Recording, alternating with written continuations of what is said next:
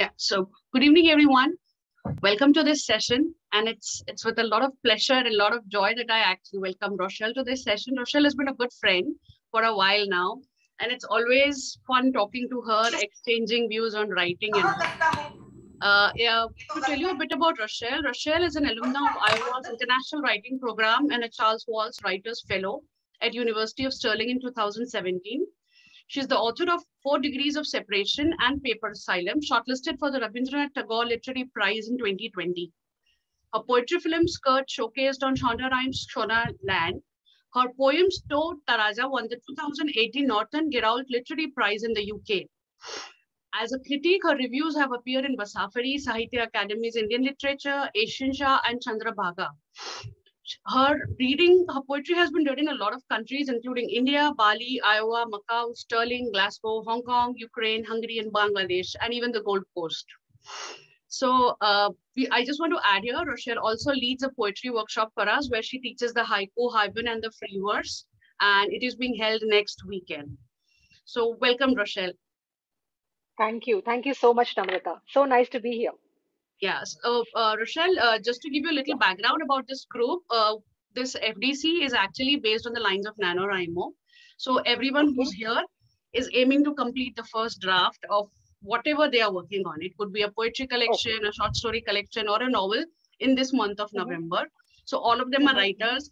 Some might be in the second round of editing or some might be in the final round of editing. But in short, they're trying to write daily, regularly, and fall into a practice. It's more of a community Wonderful. group. And mm -hmm. after this, they'll definitely aim at getting published. So we are looking at a lot of feedback and tips from you on writing and publishing in this conversation. Definitely. I'll try my best to collate everything. Yeah. that I know. Yeah. sure. So the first question is uh, writer, poet, and a translator. Your journey as a writer has been very interesting. Can you tell us a bit about your publishing journey? Yeah. Okay. So from the uh, from the poetry, short story, and the translation perspective, uh, you, you, know, and I'm talking of publishing as well because you know we're talking of creation plus public publication, right. and especially for this group. So uh, you could singly publish your poems or your short stories. That in itself is a journey in itself. Okay, and uh, then when you have a collection of short stories or uh, poetry or haibun, that becomes another journey because there you need publishers of a different kind. Okay, so in the first instance, you needed journals and magazines anthologies or prizes. And in the second, you needed uh, either the big five publishers if they are ready to, uh, you know, look at uh, your manuscript, or then the independent publishers, the smaller publishers. There are so many of them. Right. So basically, the journey is of two. And what I noticed in poetry, especially for those who are coming up with collections of poetry, is that uh, even if you have 50% of your manuscript in journals and magazines, or have won prizes, 50% of that. It's considered good because it means that you, your your work has circulated. People know about you already. So what it means subtly is that uh, there will be more readers. Mm-hmm. okay? Rather than you being a rank new poet you may be a very good poet but no one has heard of you when you have this this collection out. So yeah. it would take some time to you know for somebody to review it or um, say something about it. So it's best if you, few of your poems are in some journal you know some some everywhere like basically. 50% so i'm thinking that's a very good uh, very good uh, ratio now 50% of the manuscript. Right. That's a very yeah, good ratio yeah. yeah. yeah yeah. So you have an interesting journey as a writer too where you started writing while you were still in the corporate world and then decided to plunge into it full time so what are your thoughts about the qualifications of a writer? You know this debate that we constantly have at least in with uh, you know context to the indian publishing is you know a writer who should have an mfa or should not have an mfa and does it actually impact your public your chances of getting published or being chosen by a publisher? What are your mm-hmm. thoughts on that and what has been your experience on this? Yeah.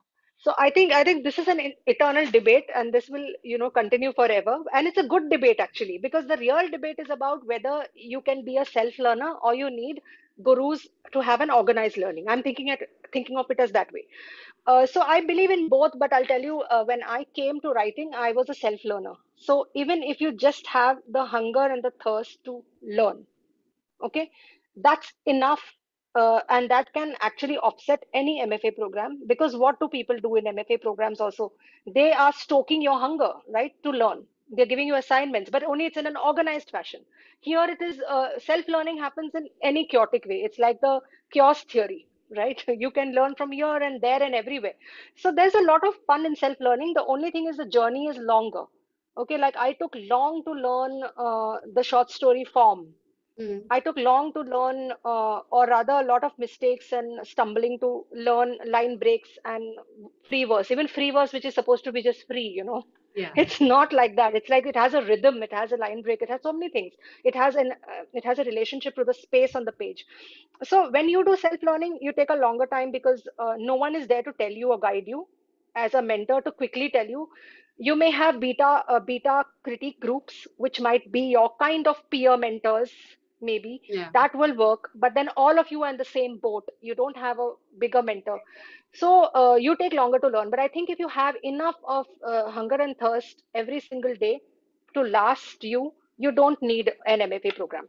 Now you need mfa programs or organized learning only if you are a late bloomer or you are in a you're in a hurry or you're very clueless. You know you tried self learning but you feel inadequate. You feel no i need a mentor. I need a guide then you you should definitely try to go for them. And they are expensive most of them. Uh, but then i think no one ever came back saying that they regretted doing an mfa okay but the the challenges are the same. Okay you you know i feel you go to the moon also you have to come back to the earth. So you have to come back to your page your uh, research material your themes you have to work with your plots and stories. No one is going to do the writing rewriting editing for you. No one is going to do the evolution and the growth your relationship with your art with you. They are going to give you the best tools but eventually you would have to come back to earth and do your own work. Um, and um, uh, so only sometimes I feel uh, in an MFA program people get dwarfed with the uh, with you know the giants, the literary giants that are there. Yeah. Sometimes you come across so much of uh, good work that you feel do off So it could also be that sometimes it can go, but I don't feel that. Uh, I mean that backfiring is like very. I've not heard much about it. Somebody said, "Yeah, I stopped writing because uh, I thought, what can I write? You know, there are the giants here." So i felt that was the only uh, sad kind of um, effect but generally no one really regrets an mfa program. But i feel if you have self learning you don't need you don't need. You need self learning and also enterprise. I'll tell you this um, there was a student who recently uh, from one of my workshops who recently uh, went to glasgow. She's now at the university of glasgow. And uh, uh, she said she's still saying "Okay, i need your help. And i said what now? You've already reached you know somewhere. So she was like no i need i need uh, some guidance of how to get into these journals how to go about it. So this brought me to the second thing is that even if you go to mfa programs or you you may go to residencies international residencies you still need a lot of enterprise to know how to figure your way even there. Yeah like it's not over. When you go to the moon you have to manage craters so Yeah. it's not over anywhere yeah True, yeah definitely true. Uh, so, Rochelle, I believe you've recently got your literary agent to represent your works. Uh, how was the Mhm. whole experience, both before and after finding a literary agent, and how did you go about it? Mhm. Yeah, so I think uh, uh, literary agents are not easy to come about, and I say that only because of the forms I write in. When I write in poetry forms or haibun, uh, first of all, very few people know what a haibun is. Only I think Red River Press is uh, publishing haibun Yeah. like by the dozens. Yeah, so uh, and uh, Paper Asylum was published, uh, which was a book of haibun, was published by Copper Coin. So people are now opening up to Yeah. publishing I think even which is Kala very a Ramesh had a book. Yeah. Yes, now she has a book by a big five publisher. So Yeah. it's like now we are seeing something beautiful in this subculture. But first, people didn't know about, uh, you know, they didn't think that Haibun was even legit. People thought, what is this? Some Puritans thought, what is this prose poetry form? ऐसे हो नहीं सकता. है, You know, like uh, so they were like, it can it can be prose or poetry. How can it be both? But now all these things are, uh, you know, settling because now it's becoming a very publishable medium. Um, and uh, I feel that uh, because of its hybridity, it's going to stay because you have Mm. this story, you have the poetry, so this is- form is going to stay. Uh, uh, what was your question? I was talking about the literary agents, your journey to Yeah, yeah, yeah. finding them Literary agents, before yeah. and after, and your So, uh, experience. so yeah, so as a poet and a, and a, uh short story writer and a haibunia, it was a little difficult to find an agent because they all wanted novels because novels is business. Okay, so I understand that very well. Yes, definitely. So it was a little difficult because whenever I asked some of the agents, they would be like, "Give us a novel, now ho jayega. Give us a novel." I'm like, "But what if I want to write haibun? What if I want to write poetry?" You know. See, there's also this uh, whole um, debate of your creative uh, com- creative instincts, na? compulsion, Yes. what you want to write. You don't want to be led by the market. You probably want to lead the market. You don't want to be led all the time. So uh, it was difficult getting an agent. Finally, I found one who was ready to look at. Uh, see, poetry, uh, book bakers looks at Sohail Mathur, but uh, more even the short story, he's supportive of that. It's difficult to place poetry. So sometimes I feel uh, you are your own agent. If you are doing forms that are not very uh, out there, you Mm. know, then you are your own agent. And it's also fun being your own agent because you are learning how to agent agent it, how to represent yourself you know Yeah. self rep Yeah. so uh, that's there that's there but uh, I, so I, I did get an agent and uh, book bakers placed me with uh, vishwakarma because even short stories is not a form that all the time okay all the time. There are big publishers who publish short stories but it, if you are within a certain theme you know and it Mm. matches their list then they do it. It's so it's not all the time hit, hits and misses.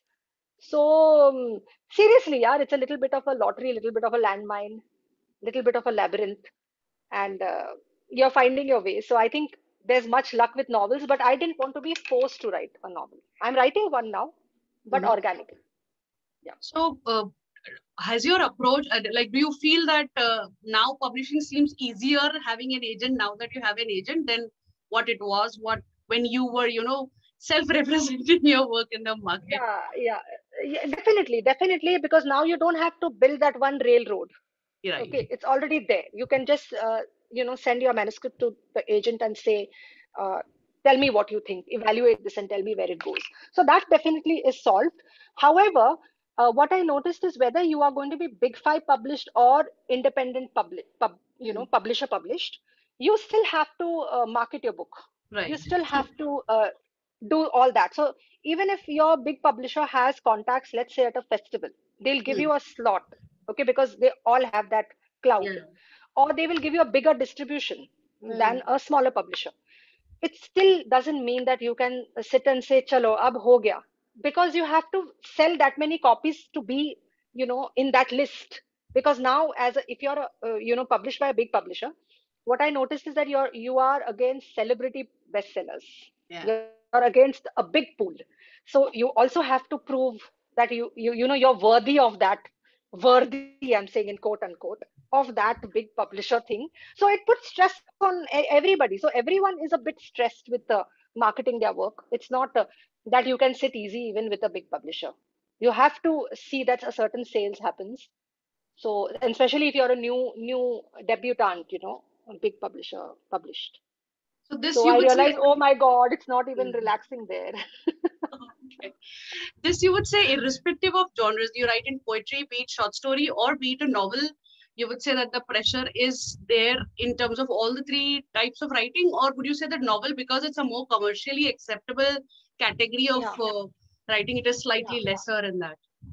No, see, it depends on uh, if it's a small publisher and they come up with, say, 200 copies print run, then you, you don't have that much because I think 200 copies will get absorbed. Okay. True. Yeah. You can blackmail your people to buy them. Just kidding. But uh, say if you have a print run of 1000 copies, somewhere at the back of your mind, you know na, the, that inventory has to move uh, maybe six months, one year. Okay, and I think the worst fear uh, an author would be if the publisher says uh, this has not sold, can we pulp it? The you worst know? thing. And yeah. I don't think this is pulp fiction. Okay, Yeah. this is not pulp. it's like Yeah. I, imagine thinking a book is going to get pulped at some time. You know, it's like not a good a good thing. So you would like that inventory to move. So you would have to make your infrastructure. Nevertheless, you're big published, small published. I think so. It's only the matter of distribution. Then you know you get a bigger distribution map with a bigger publisher. Uh, they can see that you have to be there then at that bookshop. You know, Yeah. see that you're there. Uh, you know, at least having one book event. So you also have to plan that infra at the back. And somewhere But the this pressure also impacts the next title also, the next thing that you want That to is- come up. And uh, but but see, when I say pressure means I didn't find much pressure in poetry, but I think there might be a bit of pressure in novels in the sense 3,000 copies are supposed to be the bestseller. 3,000 copies only. Yeah, but um, I I do think that there's a bit more pressure in, in the novel sales. Yeah, I think it all depends on the print run. You you should try to get the least print run. That's a good way of looking at it. yeah, yeah, yeah, yeah. Anything to reduce your pressure. Yeah. True. Uh, moving on, Rochelle. So you were an alumna of Iowa's International Writing Program in 2015 and a Charles Wallace Writers Fellow at the University of Stirling in 2017. And you were also at the UEA Creative Writing India chapter. So please tell us how all these experiences helped you shape your writing and also how should a writer aim to participate in such scholarships? What should they expect when they are aiming for such recognition?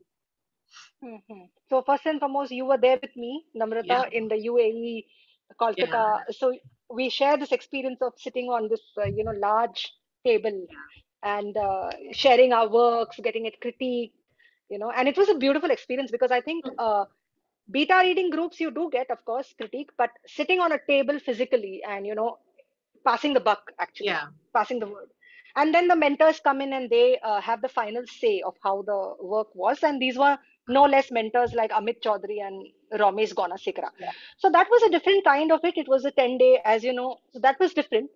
Uh, and of course, it really, really, I think I met some friends that stayed with me for life. Okay, like you being one of them. Yeah, I and Nash, agree. Yeah. Yeah, Nash recently uh, invited me to the Asian Book Club. You know, we were discussing Bombay hangovers there. So I think these friends stayed. You never know, na? You can just luck out with something. Like, yeah, true. So, that was there. But uh, the Iowa residency and the Charles Wallace were three month uh, mm-hmm. duration, mm-hmm. okay, mm-hmm. residencies, and they were different. So the Iowa was uh, uh was uh, like you know uh, very plural in the sense it had 35 other writers and poets coming from different corners of the world. And uh, it all seemed like a fil- like a festival literature festival every night in the common room. Because we stayed in iowa house hotel. No matter what you did in the day you may have gone to universities uh, read or you may have attended other lectures. When you came to the common room where you had you kind of socialized with toast and wine perhaps we all read you know informally from our works and right. that was like a festival like a like the whole world confluencing in one place mm-hmm. you also gleaned a lot because when you read literature or hear literature contemporary literature from different parts of the world i think uh, there can be no better um, accelerated process of understanding the world because you're not listening to world news or world affairs but to poetry mm. you know so which which crosses so deep into the psyche of uh, the culture around you uh, so uh, that was different uh, in three months. Those three months were completely different because it was very plural. Charles Wallace, however, is a solo residency. You are the only fellow who goes there in one term. Okay. So there's no one else there. You might be associated with uh, the Department of English, mm-hmm. and uh, you, are a solo fellow there. So it's very, uh, it has all, all solitude. So both these residencies have a different window view. You have the Iowa River, and you're writing people would be writing and then they would be socializing in the night. Whereas in the solo residency you are on a party with yourself. So i feel both kinds of residencies bring out different things inside you because finally what does a retreat or a residency do or is supposed to do? It is supposed to help you uh, uh, dive deep into yourself find your inner voice your inner music. Mm. basically it is to tune out the noise outside make you go deep down and make you uh, i don't know find yourself excavate what you want what you are what you want to write. Basically it's a kind of a meditation yeah. you know. So mm, i can say that i found a lot of myself in Stirling because i was in abject solitude. In fact that was a lo- that was a beautiful lockdown before the lockdown of the world. Okay. So after that you were like no i don't want any more lockdowns. What are these covid lockdowns? That was a lockdown of a solitudous nature and um, I definitely uh, plunge deep into uh, thinking of the themes I want to write and all. See, that solitude will always benefit a thinker or a dreamer. And this doesn't have to be. Now, coming back to it, uh, applications to residencies uh, are very, very uh, lottery like because there are so many people who apply every year and uh, so many people who write well, right? So, how does so if you don't get selected, doesn't mean you're not a good writer okay because there are too many people. So they search for a unique voice definitely. Uh, and how do you build a unique voice is how close you get to words and how often you write. And uh, you know your own voice is your own words that you use. Yeah to say something. Uh, it's not generic but uh, it it is developed over a period of time. In fact you know just recently i realized there are three kinds of voices. There's a voice which is the writer's voice there's a voice which is a worldview voice and there is a when you're writing a novel there's a, something called the novel's voice. And i thought the novel's voice is the author's voice. It's not. The novel's voice is the rhythm of the novel.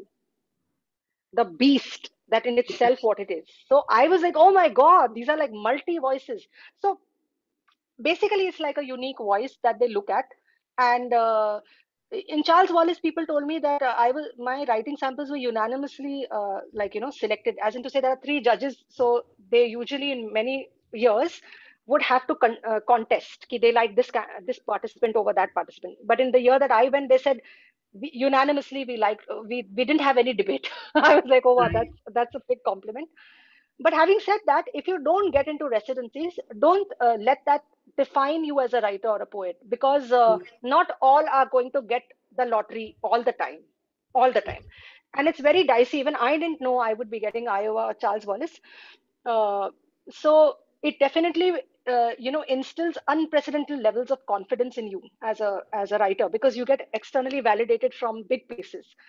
So that definitely helps but you have to still come back to earth and do your work you still have to research you still have to rewrite that novel you still have to go through the um, you know fine sieving of the, every sentence no one is going to do that for you so you come back but definitely you come back with more conviction but having said that I realized also that festivals, residencies, they don't define you as a writer or a poet because a poet or a writer makes festivals.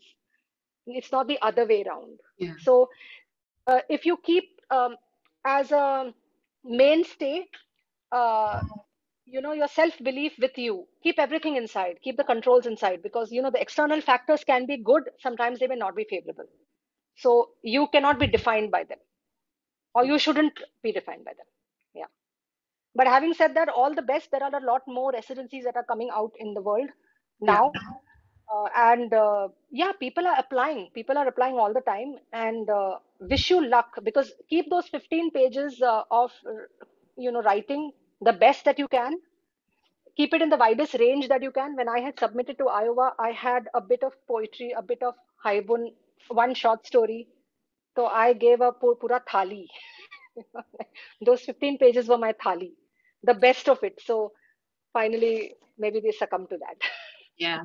Uh, just to add here, we have collated a list of all the possible scholarships and residencies that you can apply to. Uh, after the session, I'll share the link with you guys in the group in case any of you are interested to take it up. Yeah. So, Rochelle, moving to our next question, uh, how do you look at social media as a device for book marketing or author branding? And are there any tips that you would like to share with us? Yeah. yeah. So, uh, yeah so actually in my life currently i'm taking tips but but because i was so bad with social media marketing. yeah, but i, I remember one tip that you, know? you had given me where you had said that jo dikta hai wo bikta hai. So you know you have to just you you are the first brand brand uh, you know pr person for your own work you have to start making the noise and that's when the world will start making yeah yeah, yeah yeah. Yeah because because uh, you know how many hats we are donning? Like if you don't have an agent you're an agent. If you don't you have a pr person and you can't afford a pr person. Yeah i mean it's very difficult to afford. So you are your pr person. So i think we are we are 10 people no yeah. Yeah. not ravanas but 10 people. So uh, uh, so i'm starting to warm up to social media in the sense that of uh, trying to enjoy it. I think you need to enjoy the promotion. Otherwise it becomes right. very distracting for a writer. And and you know i'm also an introvert so i don't like to be out there all the time uh, pushing things. But now i started to enjoy it. I started to en- enjoy the celebrate moment that okay this got published. Let's celebrate. Right you know this uh, this new uh, news came out of an anthology. Let's celebrate it. Let's not think it's a distraction. But yes because the news feed is so noisy these days you you are not going to get discovered or you'll get discovered like you know 100 years later. So you'll have to do that little bit of uh, social media marketing. But i think i'm i'm a long way off. I'm just starting with instagram and you know trying to understand the reels how many reels are there and what can i do see i have to enjoy it finally you know i'm not worried ki how many posts i put out i want to see that i enjoy those posts so even if two people like it, it i hope i liked it while i was creating it you know otherwise it's gone Yeah. The likes can destroy you. True. yeah. Uh, so, but but I'll, I'll but to, but to say uh, to say one thing, uh, I think it's also now a 360 degree kind of a surround sound uh, promotions because sometimes social marketing will do this much, but your presence at a festival might do something else. Uh, then reading at some other place will do something. Uh, th- uh, one of the reasons I noticed is that diversifying into different forms allowed me a, a quite a little broad area.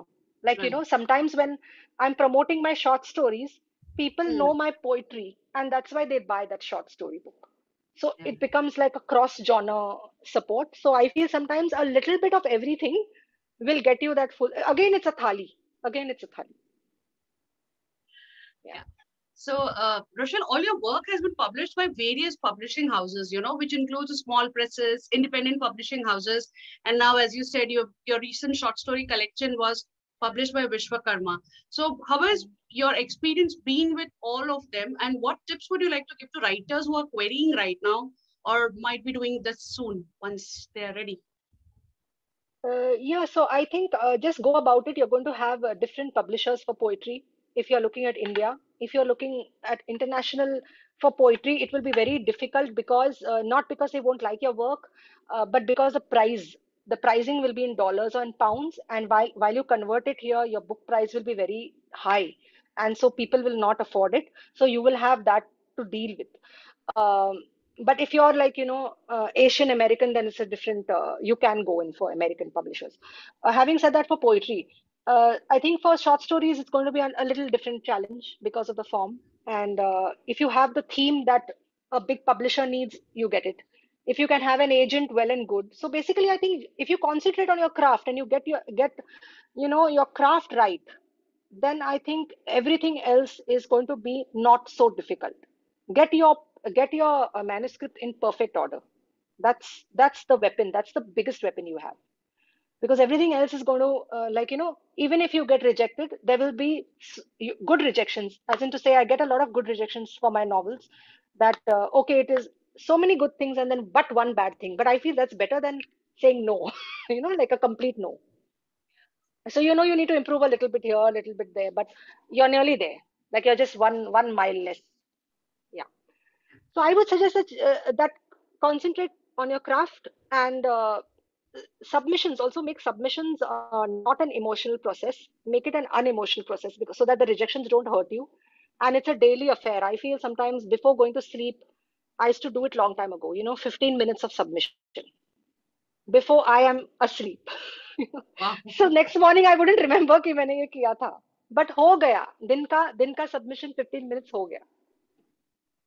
Yeah. that's that's a very uh, nice way of uh, you know trying to keep a track of your writing we had damyanti last time uh, Mhm. for fdc and uh, she has a group of writers where they actually target 100 rejections in a year and they celebrate those rejections Wow. because wow. uh, according to her what she said was those rejections means you are writing good or bad Yes. is a secondary thing Yeah. but 100 rejections means you are writing maybe Yes. one of them might just click but you Yes. still wrote 100 things there and that Absolutely, absolutely. And in fact, there was a poet who said, no, a shoebox of rejections.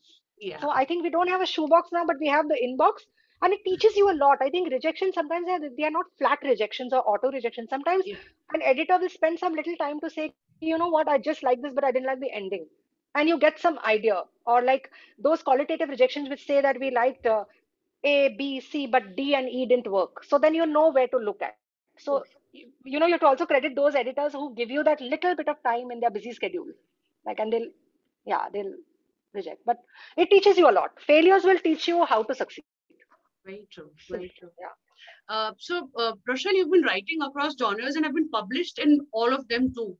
So, what would you advise a writer who wants to do this? Because publishing houses and PR firms usually don't advise us to, you know, mix so many things or so many genres and categories. What has been your experience, and what would you advise it to someone who wants to do that?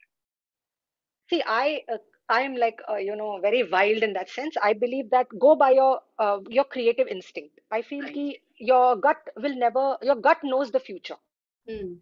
okay no one knows the future no industry pundit can really predict or extrapolate the future they might Right. say this will happen in publishing that will happen in films but they really don't know your gut is not going to uh, cheat you okay, your creative instinct. So, uh, like I know today that the Haibun is now become a form that is publishable and books are selling. But when I started, uh, you know, really, uh, how do you say, uh, promoting this form, I even took it to the Saint Xavier's syllabus.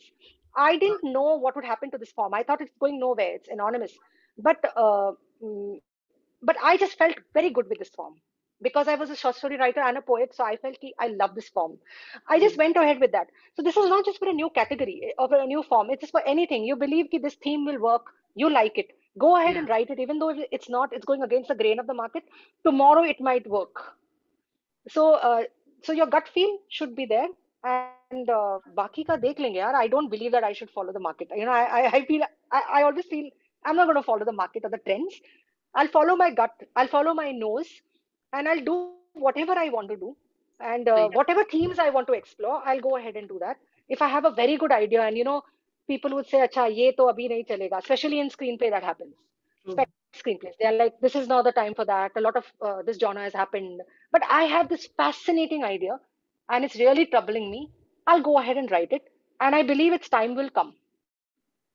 Every idea has its, has its time. Every story has its destiny. It definitely comes absolutely. I agree.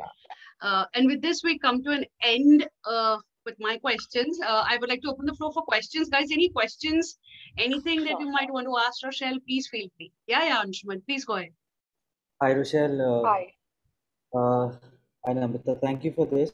Rochelle, I was going through your bio, just, you know, uh, updating myself about you. You've written the screenplay, which was selected at the Atlanta Film Festival Yes. Yeah, I just wanted to know how was the process from writing a short story and getting into screenplay writing? Uh, how did you really, uh, you know, educate yourself? Uh, because you know, I think you you're an autodidact, and uh, that has really worked for you. But even I'm in the process of you know getting into writing for uh, screen, so I find it very challenging. You know, because uh, Mhm. the grammar is very different. You know, because in screenplay you have to be cryptic. You know, you can't get into details uh, you know, vis-a-vis uh, short story writing or uh, you know any other format of writing. So could you just hmm. uh, you know? Yeah. So so uh, that journey. Anshuman, this is such a like you know, ek dukti rag like dukti rag pe. You know, you touched it because it is true. Uh, the short story has so much of prose and description. So when you're trying to translate it verbally or visually translate to screen, uh, I had a challenge uh, and gear shift. You know, I used to almost feel like I had to I, I used to physically think like when you're swimming underwater and you're and you're swimming above water. It felt exactly like that. You're changing your valves. It, you're changing the verbal and visual um, descriptions. But what happened is uh, I went through uh, when so when I was writing prose, I didn't have mentors. But when I was moving to screenplay, it so happened I was actually conceptualizing a novel. So I had a log line-ish kind of a thing with me and uh, it so happened that i had i was like feeling this restlessness and i was in bombay. Uh, i went to uh, whistling woods for a five day course on screenplay. Just essay he okay? Just essay he because i was feeling restless. So uh, i saw they had a hands-on writing uh, screenwriting course of six months at whistling woods. Now i thought on a fluke should i do it? But what did i have? I had only this novel germ which was a log line-ish kind of a one paragraph so I thought, chalo karke dekh lete hain. And I do a lot of this, and I think we all do that. We just jump off the cliff. We don't think much, just jump. So I just sent it, and out of the 30, uh, you know, uh, applicants that in that year, they were selecting 12 of them. So I was one of them. Uh, so my mentor liked liked this uh, this thing. So I started from there. I started from nowhere actually, just with a paragraph which was actually supposed to be a novel, and uh, it worked as an art film or an, a kind of a you know like what i mean to say not a commercial kind of a thing more like a art film. Uh, so we started with that and for six months i was under this mentor. His name is ashwini malik from whistling woods. And um, ashwini sir took me through the not only the art and craft of screenwriting because the story i had very well developed because i had the story in my head because i'm a short story writer. So beginning to end what the characters want I, I had this idea, but I didn't know how to put it in the in the grammar or in the scenes. So definitely I was reading a lot of screenplays, but how much can you do in six months? Because it is a lot of rushed homework. but he helped me out a lot by telling me you know like simple things that if a if the time changes you need to change it into a new scene you can't have it in the same scene you know because it, it uh, one scene captures one time point so simple things i didn't know like that so i had a lot of difficulty in the in the beginning but uh, i read a lot of screenplays a lot of pdf screenplays and uh, learned from there.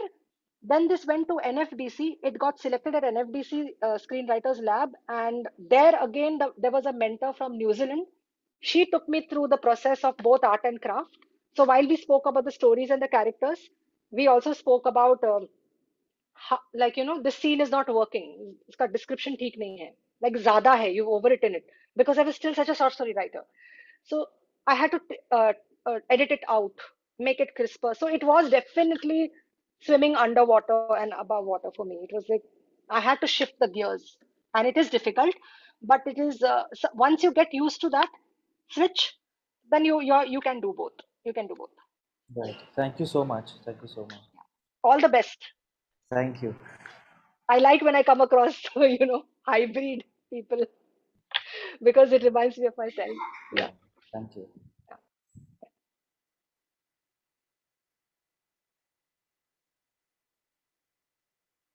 Any any other questions?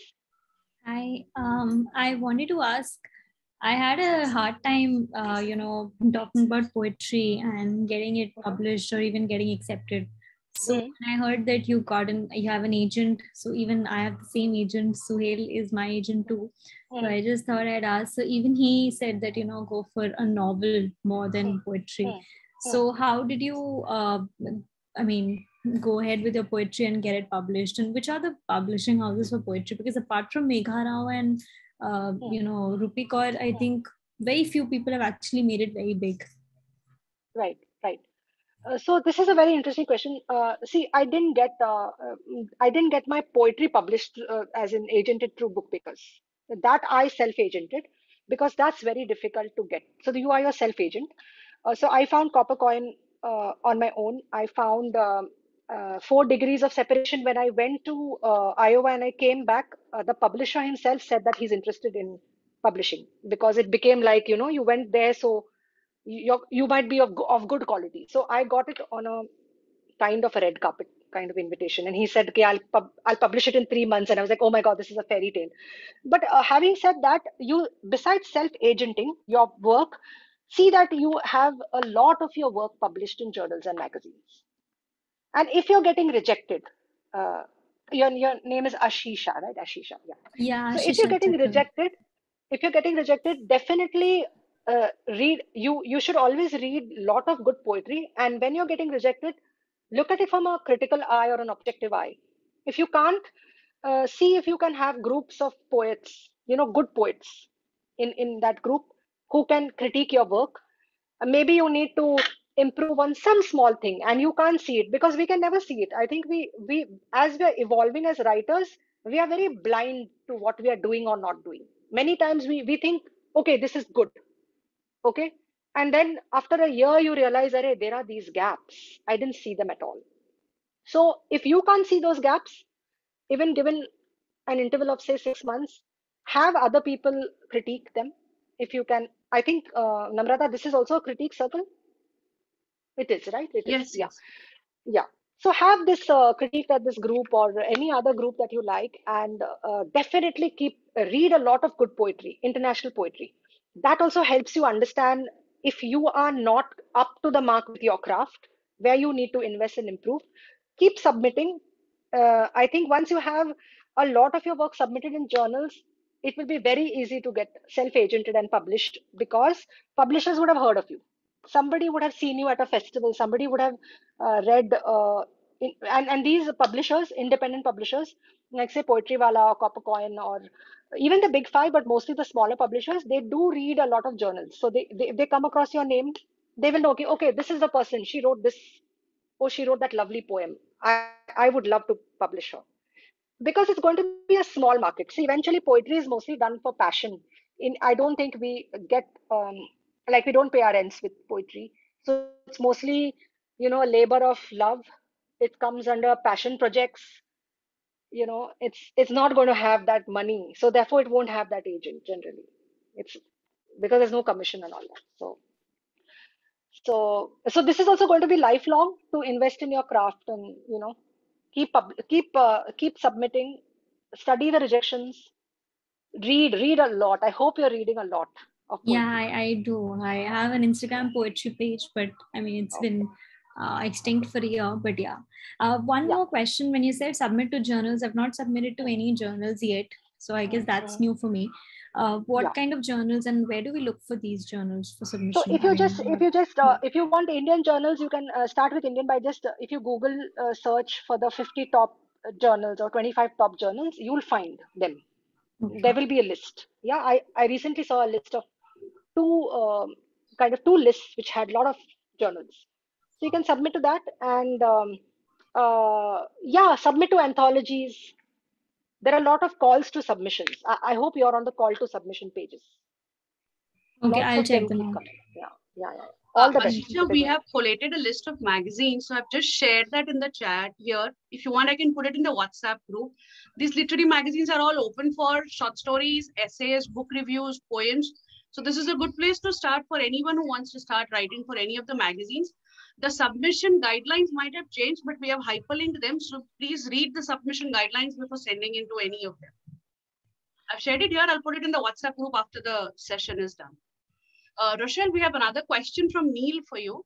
Uh, hello, Rochelle. Yeah, Thank yeah. you for the talk. Uh, yes. The question is, do agents help you bump up the line when it comes to getting your ISBN number? Uh, like uh, I think ISBN number is a very uh, kind of uh, how do you say now like a routine thing. They'll get it for you.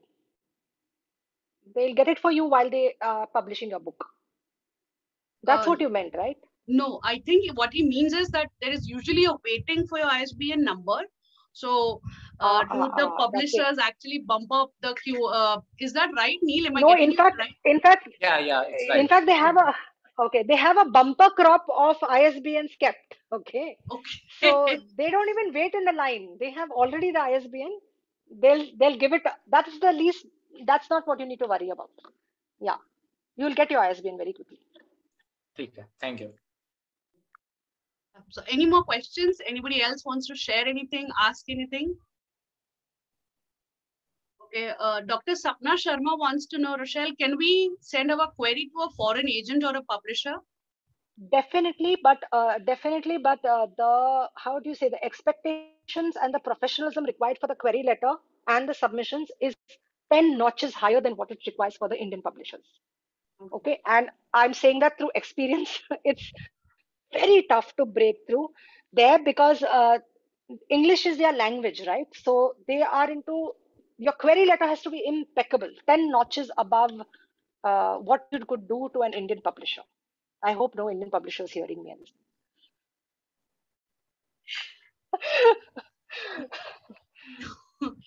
I, I hope that starts your query, Sapna. Yeah, thank you. Are there any questions? Anybody wants to share anything?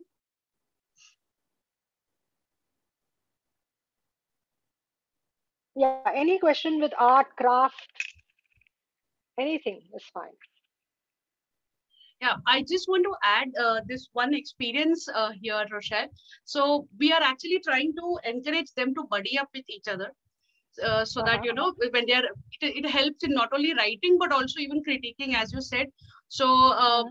uh, I, I and Rochelle met each other online, I guess, before the workshop, and we we are each other's beta critics and reading buddies or writing buddies. So I have been a part of her poetry works or her manuscripts, and it's vice versa. So it sometimes happens like that, that when you buddy up, it need not just be a writing community, you could also discover it in a workshop. Like because we were in that workshop together, we had read each other's works, we had critiqued that workshop um, you know required us to critique on each other's works and we were on the same page in terms of understanding of what writing style each, each of us has so that has maybe helped yeah. us critique our works or maybe understand the comments we give much better right now when we talk about our manuscripts and also uh, a lot of them have been budding up and one of them uh, ram ram is here. I don't see shalini. So ram and shalini had actually buddied up. This is the 5th mm-hmm. session of this first draft club. So they had buddied up and they had written a nice post for us where they had shared their experience. So we are trying to say maybe in the same city, if you're in the same city, you could meet in person or you could, you know, connect with each other, make a writing group, which meets meets monthly or something like that. So that's what we are trying to do. Yes. Uh, Yes, and it definitely helps. It definitely helps. I, I was I was uh, uh, you know with the writers group for of British Council Library mhm. for and for 10 years few of us had moved on from that circle writer circle and we were critiquing each other's critiquing each other's works for so long 10 years almost and it helps it definitely helps yeah Yeah, Ram, you wanted to say something? No. Yeah. So, uh, Chetan, are you here by any chance? Okay, I don't think he's here. Uh, any updates on the FDC front? Any questions? Any experiences that any of you wants to share with us? yeah anything that you would like to ask even on theme related or uh, motivation to write i mean everyone is managing their their daily quota That's that's a very good question. Yeah. yeah. Yes. So, you know, I've been uh, struggling, in fact, uh, to write the other day. So, you know, there's this stream of consciousness writing.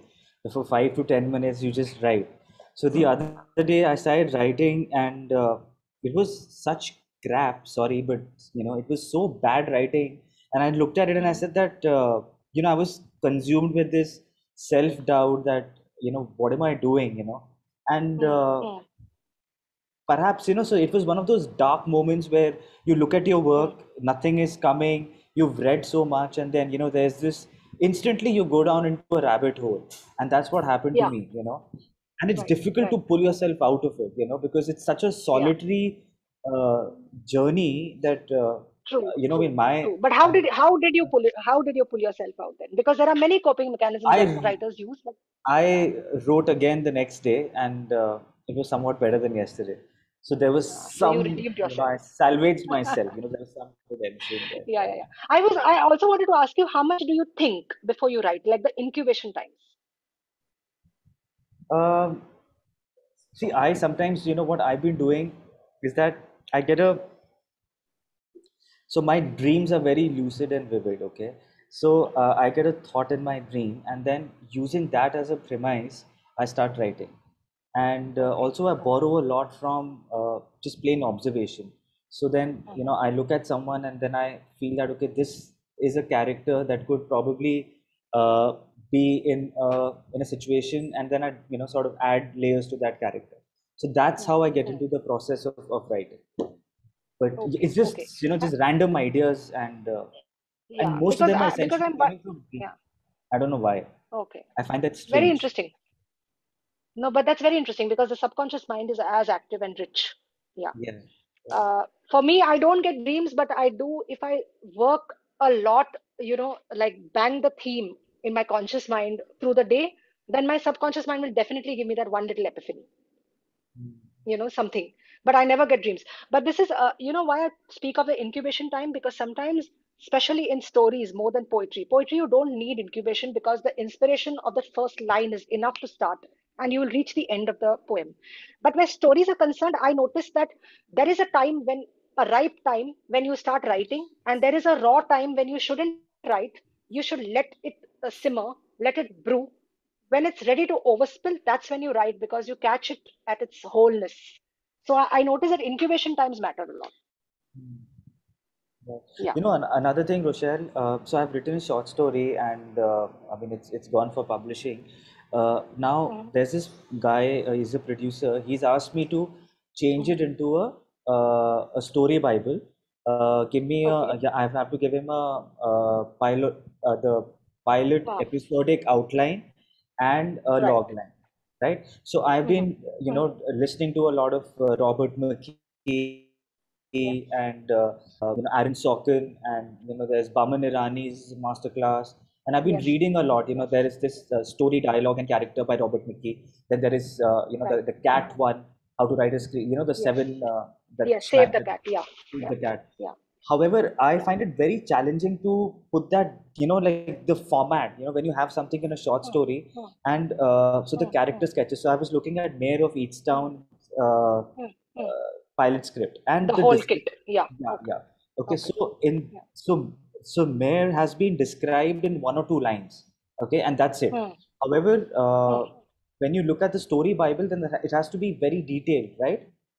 Or how does it Right, work? right. Uh, so I'm, no see I'm- what what you do is yeah what you do is uh, you uh, download some uh, uh, bibles and uh, bibles also you get you know not Yeah, just the episode outlines yeah, not that the pilot episode outlines even the bibles that you get study the bibles of at least 20 uh, 20 uh, web series web shows okay, okay, okay, and you will be able to place yours okay, understood. because every bible every bible also differs when i was studying bibles uh, Yeah.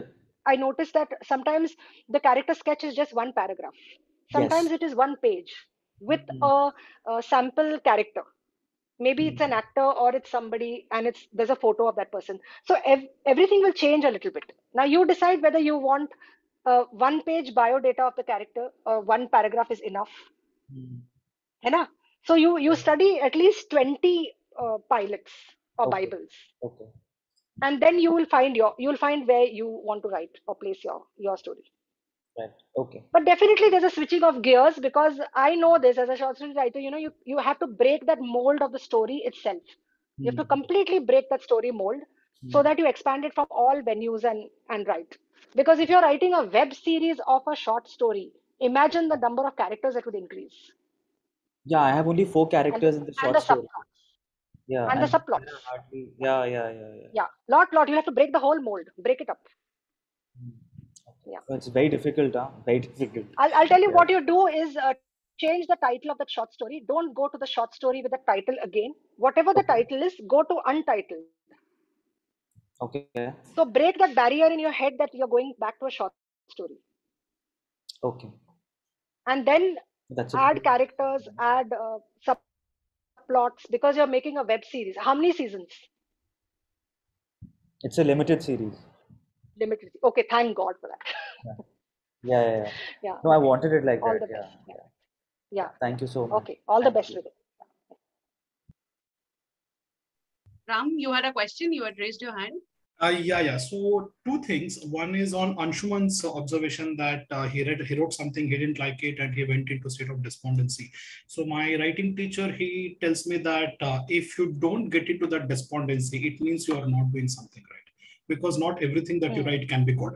Uh, so what works for me uh, from experience is that I know there is something that I have written that is good. I go back, read it, so I know that okay, I have it in. So that's uh, what I do, just an observation. The second thing, Rochelle, I have a question for you. So poetry is a very personal thing, right? Because it resonates to different people in different manners.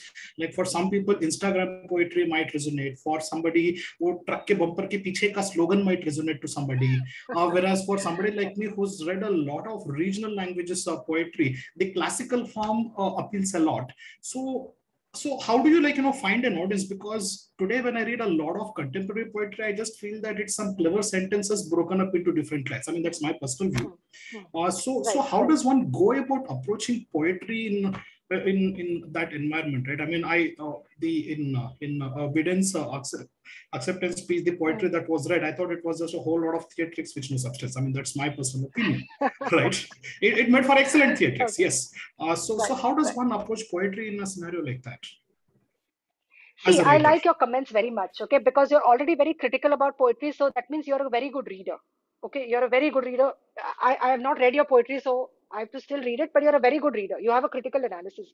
So I feel uh, poetry, whether it has an embellishment of language, like Mhm. what you say, these clever sentences and this language, or whether it is simple, Hmm. it has to finally do what poetry does move us in some way, disturb us in some way. Finally, right right? that i agree because yes I think it's I think poetry is about memory for me at least. Mhm. We may all differ with how we look at poetry. For me, it's memory. Either it's a, it's a forgettable poem that it just goes by, okay, or it is uh, like a person. I remember this person. I remember this poem, so it sticks. So for me, poet, poetry is about memory. Sometimes I remember a haiku more than I remembered an epic poem Hmm. of 100 pages. So why did I remember that haiku? There was something unique about it that just sticks. right So having said that, I feel uh, Ram, whatever poem you you write, whether it's with a, if you don't like the embellishment of language, well and good.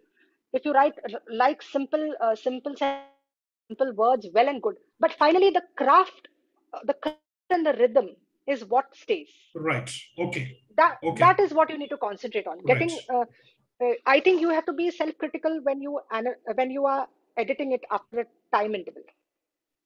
That's, Take out that extra yeah. word. Take out Hmm. that uh, extra line. Don't uh, fear. Keep it. I think that the more and more pruning you do, like a gardener, the better for your poems. The, the smaller the poem, the sharper it is. That is true. Yeah. It's more difficult. Exactly, and that is very difficult because that's like sharpening the nib Yeah. of a, of a, you know. So Yeah. I think that is it, and if then your poem will be like a dagger, it will go through, Okay. and it, you don't have to worry about uh, you know the overload of some people. They have bought thesaurus, you know, so thesaurus.inc. खरीद लिया है तो use करते हैं. Sometimes, Yeah. so it's okay, but every I, I must say this poetry is like the forest bird song. Every bird singing will be appreciated. That's very helpful. So thank you, thank you very much for that Yes. because I think I have written maybe about 400 or 500 poems and I haven't put them out simply because I was not very sure. No, no, no. Please put them out and also put them out in a way that uh, people can critically comment, people Okay. can appreciate it, uh, be open to it. You will also grow as a in your voice. Right. Yeah. All the thank you. best. Thank you very much. So like uh, AK Send me some said- of the poems. I'll do that. Yeah. I will take Yeah. your contact from uh, uh, Namrata. So like AK, Ram- I'll just say two more two sentences. Uh, AK Ramanujan, he said that a poetry, when you read it, it should ring a bell in your head.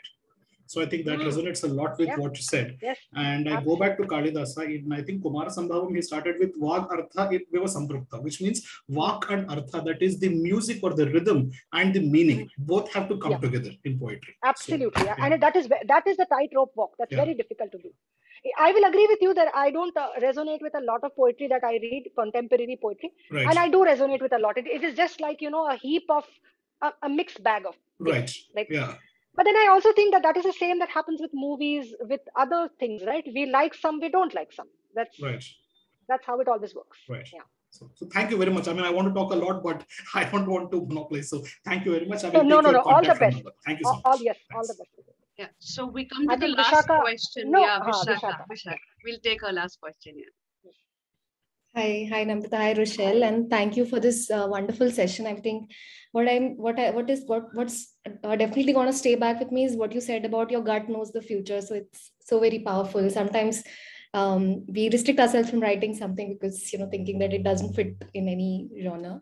Uh, so that was lovely, and uh, in fact, I just wanted to share my FDC journey this time. So I've been participating in the last few months, but somehow, uh, you know, daily writing couldn't happen. But this time around, it's it's it's been so nice. I've I had set a very Yeah. small target, but I've been able to write almost daily, and it feels so good. It's just like uh, oh, cleaning that pipe by uh, you know uh, that pressure. I just, just had one question. Ki, you know, I, I do write poetry sometimes. So, uh, but how does one edit poetry? I mean, you know, there was one pointer about you know how you make it sharper, uh, you know, in terms of. But how does one go about editing poetry? Because uh, personally, for me, like it's just you know something uh, you get inspired by something which is happening in your day-to-day life, and you just uh, it just kind of flows, and then um, what's the process? Um, Yeah, yeah, to that? No, but first, and- first and foremost, uh, congratulations on that sense of accomplishment that comes from writing what you set out to write. That is very important. I think uh, as writers now, uh, our conviction is built by many things, but one of the conviction that is built is uh, the inside job of how you uh, treat your writing or how do you treat yourself as a writer. So if you can do smaller work, but you do that and you have that sense of accomplishment, that's very important. So good to hear that. Good to hear that. Uh, about the mm, poem, yes, uh, poetry, when we write, we write naturally and we feel what more can be done. But um, allow yourself to keep that draft away and believe in the evolution that you have as a person. So when you come back to the piece, say after, now I don't have a prescribed interval time because it differs. So I can only talk of my interval time. You see if it works for you and it works for anyone else. I usually come back when the poem calls out to me. Supposing I write a raw poem or a raw short story, I keep it away in draft one. It's forgivable, okay, that draft, because I have written everything in it. Things that I've overwritten, I have digressed, I have done whatever I had to do. I've been mad. I keep it away. I go to something else, I do other things. When I feel, you know, that poem or that short story is calling out to me, now that could be 15 days later, it could be three months later. I go back, I have I am a new person. Okay, that same piece is a new piece. Now we both are new, we both have evolved. Now when I go, I can see glaringly what is missing or what is too much. Yeah, and then you become the editor and you start chiseling out Mostly you're chiseling out. Very rarely do I come across writers who say we wrote less, we underwrote. Because poetry, if you underwrite, you can't uh, fill it up. Short stories, you can do that. Ki, Arey, ek, you know, ek uh, plot reh gaya, so I'll fill it up. You can't do that for poetry. So what you do in the first draft, that is your main mainstay. You will start chiseling only after that. So basically, mine is overwriting. I go back and I re reduce a lot of lines, words, and I prune it to its sharpness. It's like weighing gold. You know, when you when in my uh, haiku workshops, I teach that um, haiku when you write because it has such few words. It's like a goldsmith weighing gold. एक word ज्यादा नहीं and एक syllable ज्यादा नहीं in that word. Okay, because a rhythm rhythm छूट जाएगा. There is a rhythm in poetry, and वो rhythm uh, you have to evoke the singer in you, the musician in you. So you know when the rhythm is going off. It might just be that one word, one article. Yeah. Uh, so uh, when you come back to it after that interval and you edit it once, if you feel okay, now I think this is the poem, and if you feel no, I you will know it automatically. You will feel okay, no, there's something still missing. I don't want to submit it yet. I think I'll go through another round. Keep it aside, come back second time and work on it. Again, you edit it, line break it. Even check the line break. Sometimes I feel simple things. You put a line to the to the left indented. If you put those two lines to the right indented, it changes the meaning of the poem. The same two lines. So you're playing with space. One word up or one word down changes something in the on the page. So you have to have that you know that play with the mosaic of the poem. And when you feel okay now i think it's it's enough then you send it. And of course i i'm assuming here uh, vishaka that you are continuously reading because uh, when you read poetry somehow it it becomes you know so second nature. Whatever you're working in if you're work, writing novels read a lot of novels or keep reading a little bit of here, a little bit of there. When I was doing screenplays, I'm reading a lot of screenplays, some five scenes every night, you know, and just thinking, how did this structure happen? So when you're doing poetry, read a lot of international poetry. One of the best places is Poetry Foundation because you'll get international uh, poetry and all the top uh, international magazines there are 50 of them or 100 of them have good poetry but then you'll even find good poetry in the in uh, himalayan writing retreats uh, list what was made from there also you read. Keep reading. So then you'll immediately know, okay, this is less, this is more. And then you become your own poetry editor. Yeah. That's wonderful. Thank you so much. Yeah. All the best. That brings us to end of this session. Uh, Bishaka, I would encourage you if you are keen, uh, you can always attend one of the workshops that uh, Rochelle leads, the poetry workshops. She takes us through haiku, haibun, which includes editing, critiquing, and uh, because it's a very closed workshop, it actually has just 10 to 12 participants. So the feedback is one-on-one. -on -one. There is a lot of conversation, as always is the case with Himalayan writing workshops. Uh, we are scheduling one for this weekend and we have some slots available. You can definitely let us know. Yeah, thank you so much, Rochelle, and thank you everyone thank for joining you. us. I, I see I Chetan is back. Yes, Chetan. You wanted to oh, add yeah. something? Yeah, yeah. Thank you so much. Thank you everyone for being here. We'll see you all next week. We are having thank Penguin. you and all the best. Yeah, thank yeah. you. We are having the uh, editor of Penguin uh, Random House, Shreya Punch, uh, next Sunday joining us for a session. So we shall meet next Sunday at 5 p.m. then, yeah. Thank you so much. Thanks, Rochelle. Bye-bye. Thank you very much. All the best. All Thanks. the best.